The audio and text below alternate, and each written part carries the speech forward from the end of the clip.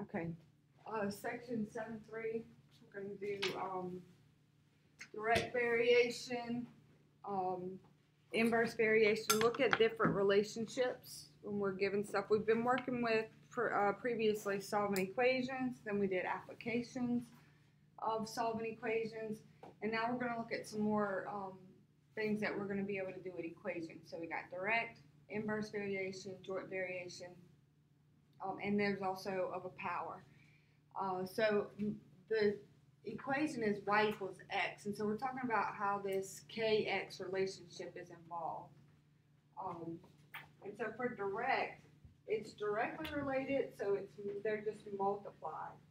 So the x is multiplied times the constant k. When we have a power, we have x to the power. So you're loo- looking at this relationship of x, so you have the x to the power for that one. Um, for the inverse variation, it's inversely related, meaning, so if you wanna think of it in that sense, it's like division. Direct was like multiplication, okay? If it's a inverse with a power, then you have inverse, and then you also have a power involved.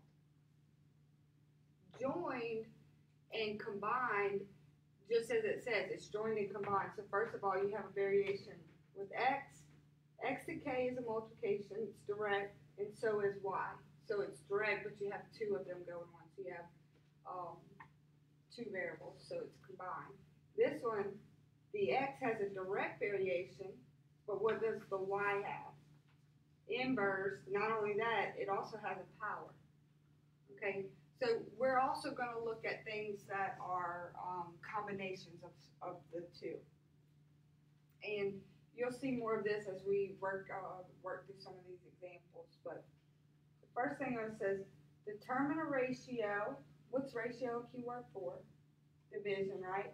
But we're gonna look at this, um, ratios and proportions today to right and lowest terms. So it's gonna give us a statement, five days to forty hours, which we said, we know ratio is pretty much like division, so if I write five days, forty hours. And then what does it tell us to do? It says write and lowest term, which means just simplify that fraction. Five and forty both have what in common? Five, so, um, you could simplify that, um, or, or we can go ahead and just convert this to how many days that we have total, so, um, determine the ratio and write in lowest terms, so five days to forty hours. Let's take this and we wanna rewrite our relationship, let me change colors real quick. Let's do to how many days, well, first of all, how many hours are in a day? Okay, but if I want to cancel these metrics, I'll put hours so that these hours will cancel with these hours and a day. So you told me there are twenty-four hours in one day. Okay, if you multiply across twenty-four times five is one hundred and twenty, and forty times one is forty. And then we can reduce this three over one, so we have three days.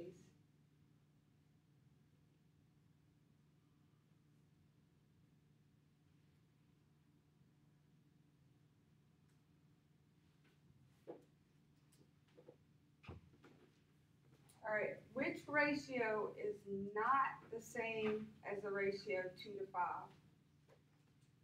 Well, let's just talk about what they are. So this is four, what position is it in?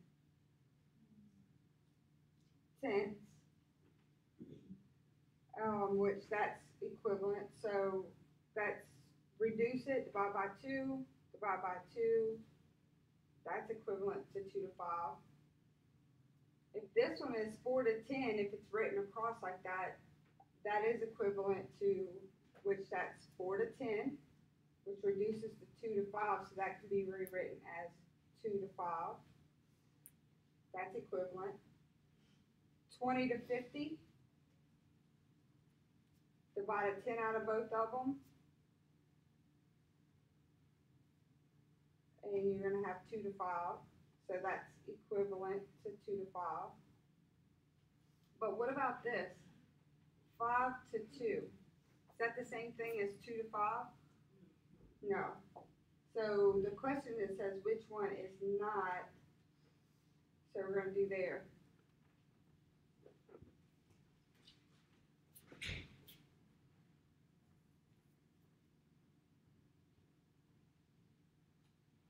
Alright. Um, determine if each proportion is true or false.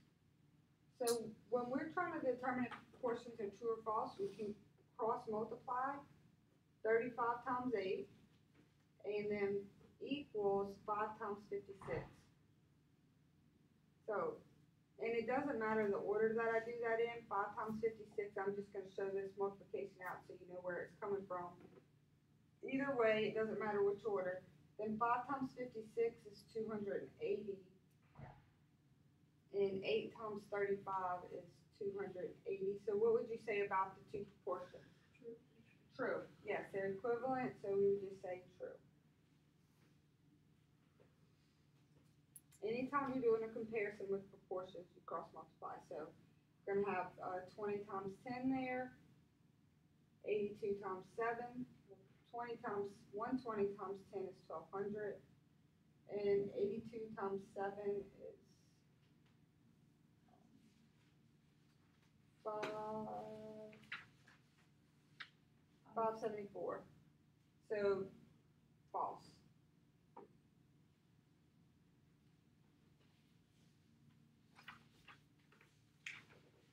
Alright, so the first couple are just kind of some prompt, a little bit of a warm up. So now we're gonna go into a solve the equation, but it's set up as a proportion, so in all of our solve the equations, we're trying to isolate the variable and get it by itself. But to start this problem, we're gonna cross multiply, so you're gonna have, um, twenty times x there is equal to one seventy-five times four. So twenty times x is twenty x, and then I have, um, four times one seventy-five. Go, up- you can go off to the side and multiply that out, five times four is twenty, carry two, twenty, thirty, seven hundred. To get x by itself, you're gonna divide both sides by twenty. These zeros will cancel the end, so seventy divided by two is thirty-five. X is equal to thirty-five. How could I check myself on that? Plug in X, cross multiply, cross multiply, if they're equivalent, you know you got it true, therefore you know you got your X value right. Okay. Alright, here, we have to be careful with this one, we're gonna say six times three X plus one, you have to put that in parentheses and be careful to be, um, precise with this. And seven times two x minus three, because you wanna be able to distribute and simplify before you start solving the equation. So here you'll have six times three is eighteen x, plus six times one is six. On the right side, you'll have seven times two is fourteen. Seven minus three is a negative twenty-one. Careful with your signs. Now, left-hand side is simplified, right-hand side is simplified. We wanna get the variable all on the same side, so I'm gonna subtract fourteen x. So that it's gone, and over here I'll add like terms. And we're back to our solving equation steps. Get the variable by itself, so the first thing you wanna do is subtract six from both sides. Using our rules for adding integers, same signs, add, and keep the sign. Divide both sides by four.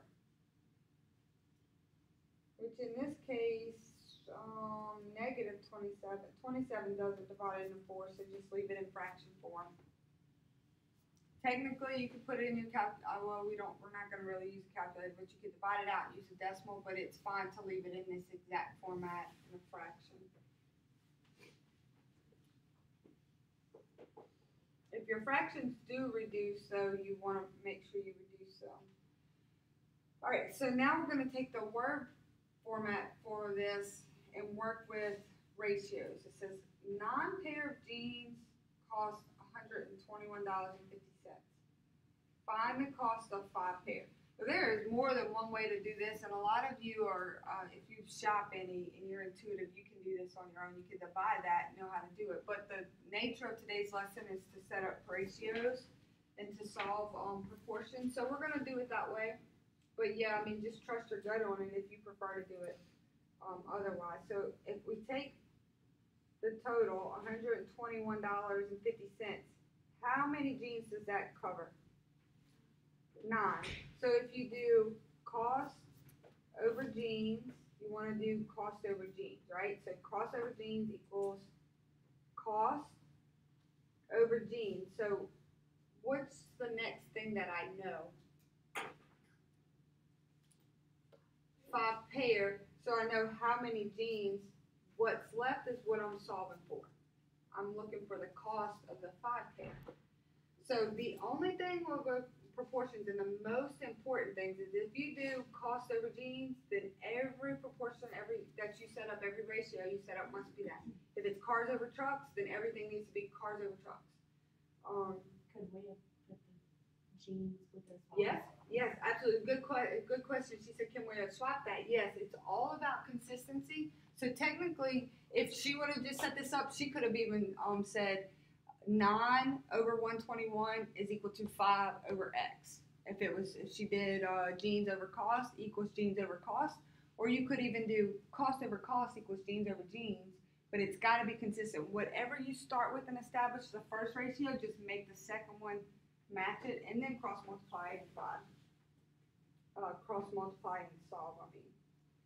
So we'll have, um, 5 times 121.50 is equal to 9x. Our goal is to get x by itself, so divide both sides by 9. Actually, let me go ahead and multiply that out first. Um, 607.50, then divide both sides by 9.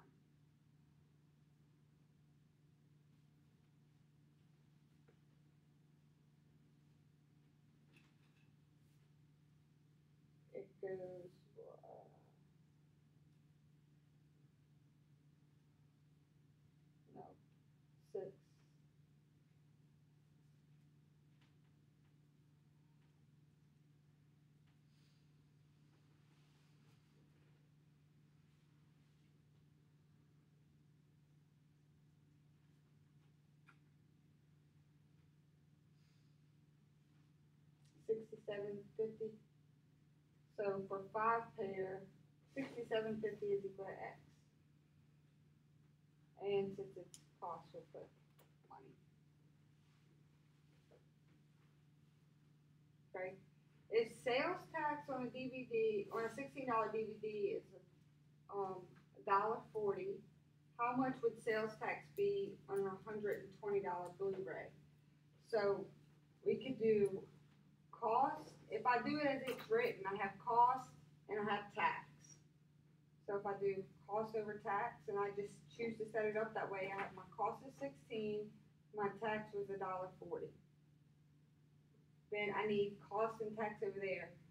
Tax is what the question is, so we're gonna let that be X, and the cost for the Blu-ray is one twenty.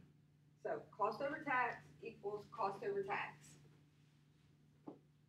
It's not the only way we can set this up, but it's a consistent way. And once you establish it, just be consistent. So we'll have 16x is equal to 140 times 120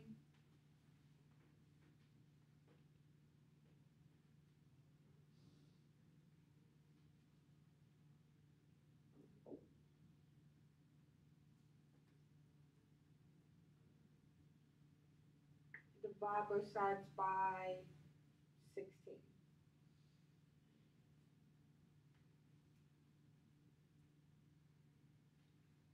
X is equal to, that's going to be 10, 50. So $10.50 tax when you pay for a $120 Blu-ray.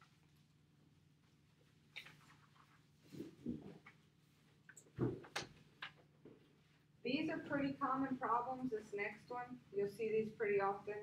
Um, distance between Kansas City and Denver is six hundred miles. On a map, it's scaled to two point four feet. How many feet between Memphis and Philadelphia when the two cities are actually a thousand miles apart? So I'm sure you've seen this type of stuff before, scales, also standardized testing a lot of times, they like to use these a good bit. Um, and so we'll take it and break it down. Um, it- we're gonna look at the actual miles and we wanna compare it to how much is represented on the map. So let's just go with actual over the map, over the map scale.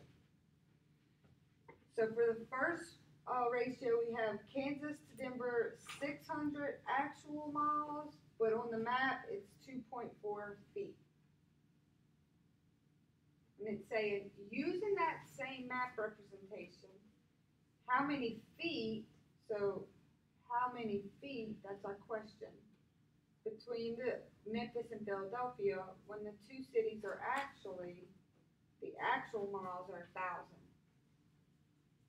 So, determine the proportion you wanna go with, be consistent, stick with it, and then our tactic is gonna be to cross multiply to solve this, so you're gonna have six hundred x is equal to one thousand times two point four. That's a pretty easy one, then divide both sides by six hundred. Zeros cancel, and x is equal to four feet. Four feet on the map would represent a thousand miles.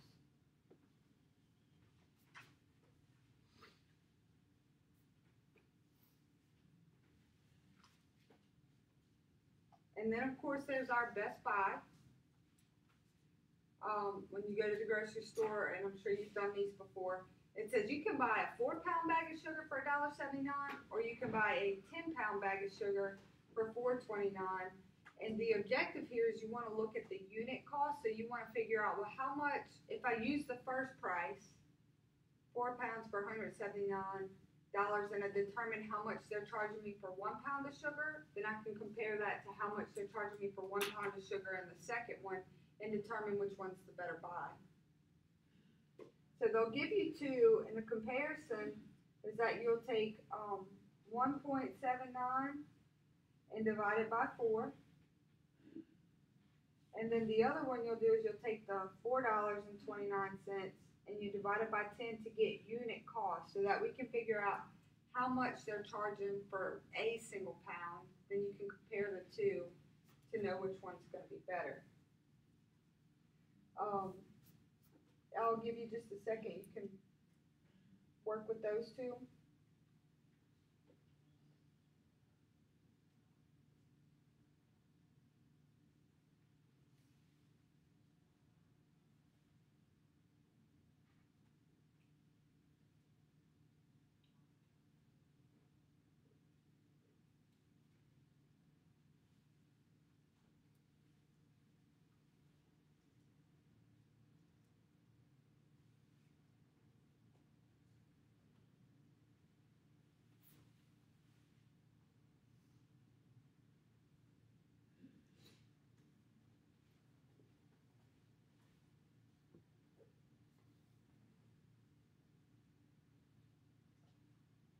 So when you divide them out, you'll see that the first one, they're charging you forty-five cents for a pound.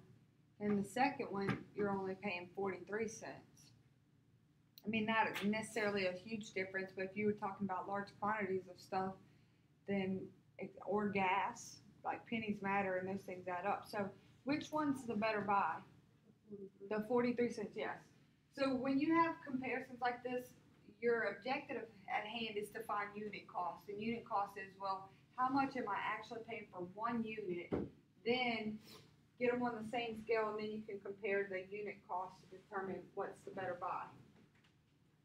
Okay, um, you'll also have some visual ones in a proportions ratio, and the idea is the same. First thing you wanna do is make sure, uh, the geometries are lined up. They, they're very similar, they're in the same direction. If you got triangles split different directions, you wanna make sure you get them.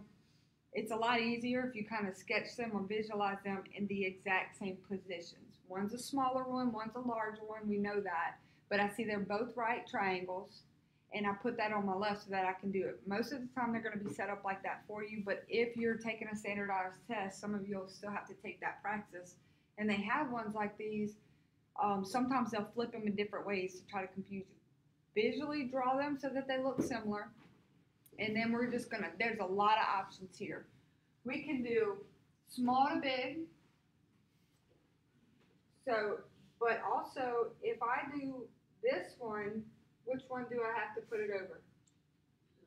Nine. It has to be in the same location, and that's why I say it's gonna fall in your favor if you line them up and make them look.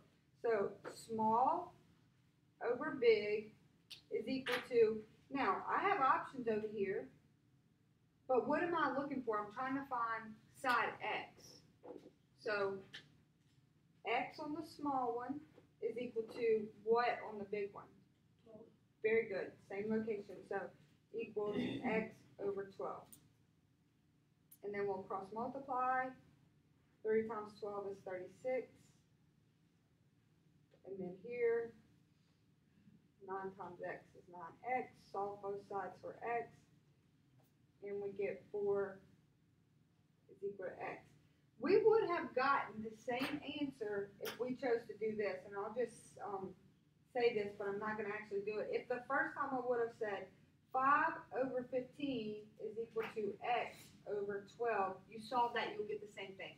As long as you're consistent, as long as you do small over big, same spot for same spot, it doesn't matter, you got options. You got options there, so keep that in mind. Now we're gonna move on to our, that was our pretty much basic, um, proportions ratio. I'm pretty sure you've seen that kind of stuff before. This might be a little bit new to you. Varies directly, varies inversely. That's the stuff we kind of wrote those formulas down for. That I will let you have those formulas for your um, test, so you want to add those to your formula card. But if x varies directly as y, um, then we're gonna just solve this, so, uh, if I have y equals kx. Okay, varies directly.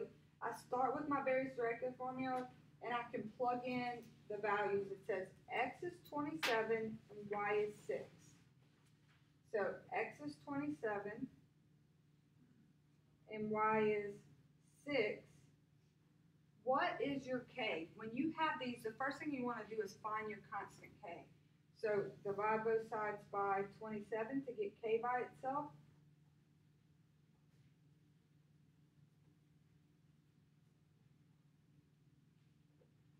Six over 27 is equal to k. And then your thing is you you write it again. So here's your, uh, if I got to try to give you some formalized step to like when you have inverse directly, jointly combined, you start with the formula that kind of matches what's going on in the problem. So we said direct, we pulled the direct one. The very first thing you always do is you got to find out what K is. So they'll give you some knowns, you plug in your knowns, and you find out what K is. That's our first step. Then you go back to the original equation, plug in K and the other thing you know to find what you don't know. So we'll do this. The first time is to find K. The next time is to find what they're asking for. So this time we know K because we just found it, and K was 6 over 27. What else did they tell us? We want to find X, but we do know Y is 2. Find X from Y is 2.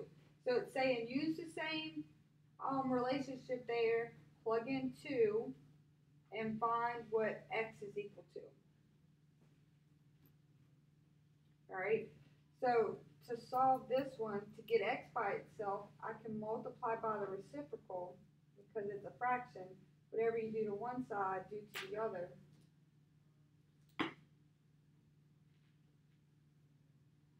And then over here, the twenty-sevens and the six cancels, and we're left with x. And then on this side, you're gonna get what? 5 by two, divide by two, twenty-seven divided by three, we get nine. Nine. So on these, they're gonna tell us the relationship. We're gonna use the relationship, and when I say that, the equation that describes the relationship, whether it's direct, whether it's inverse, whether it's joint or combined. Our first step is to take the, the knowns that are given and find K. Always our first step. Then we write that same um, relationship down, plug in K, plug in the known, and find for the only unknown that they're asking for. So let's see another one. Uh,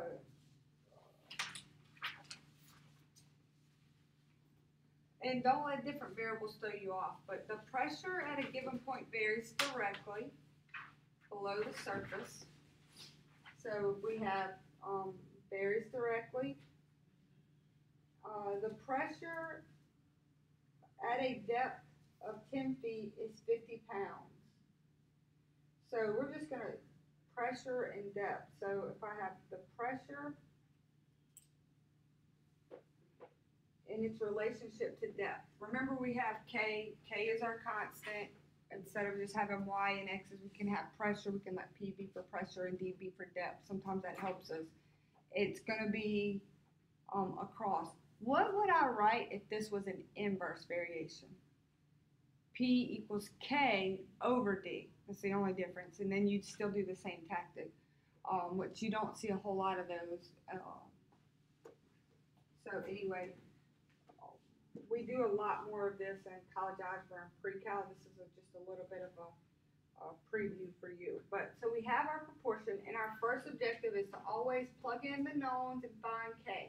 So it says the pressure at a depth of 10 feet, the depth of 10 feet is 50 pounds of pressure.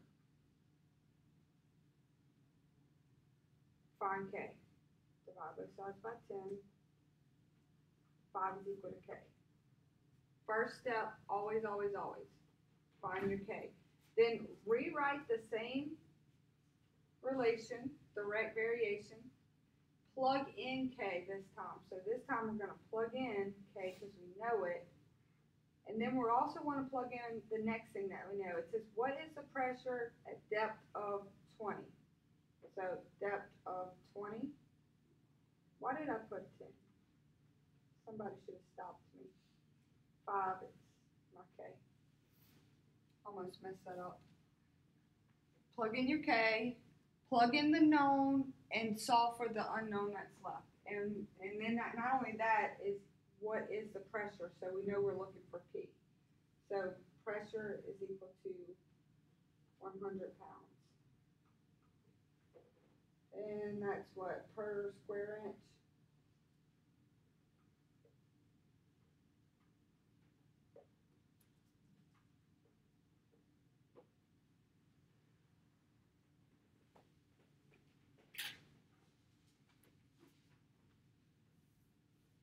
So we did um, two of those basic ones using direct. Uh, the I went ahead and gave you formulas for inverse. If you have them, we, we don't do a whole lot of those. You want to make sure you can do a direct variation. Um, combined, you just have multiple parts. That's to it. Um, but for the most part, that's pretty much it. Ratios, proportions. The idea is um, consistency there. Um, with whatever you choose to do, you're going to have to have some relationships to say what's equivalent. Five to two, five over two, and you can see we simplified down. You'll have something that you'll mark off in the comparison. True or false proportions, cross multiply, compare your values to see if they're equivalent. And then the most important thing that you have in proportions is whatever relationship you establish, cost over tax, cost over tax, you just have to be consistent. We could, we could do it three different ways in here, but if we're consistent and we do the math right, we should all get the same problem. So be real careful with your, um, ratios, not to intermix them and to stay consistent. For the most part, the Best Buy, what's our objective there? Find a unit cost and then compare the unit cost. Um, so that'll be our